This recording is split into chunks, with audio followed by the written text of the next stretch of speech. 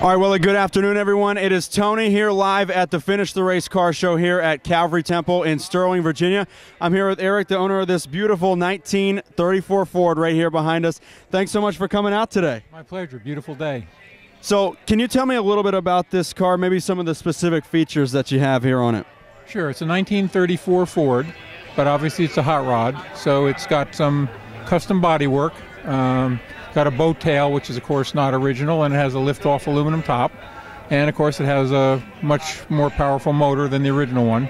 This one's a Buick called a Nailhead 425 uh, cubic inch, which comes out of a basically out of a Buick Riviera from the mid 60s. Fantastic. And if you had to pick uh, a favorite part of the car, if you could, what would that be?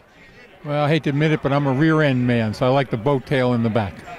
Excellent. And uh, tell me a little bit too about the the custom wheels are pretty pretty awesome on it. Makes it really stand out. Uh, tell me a little bit about those. Well, you can actually buy those now, even though they look like original old ones. They're called Vintiques, and so you can buy more modern sizes, but they look like vintage uh, wire wheels.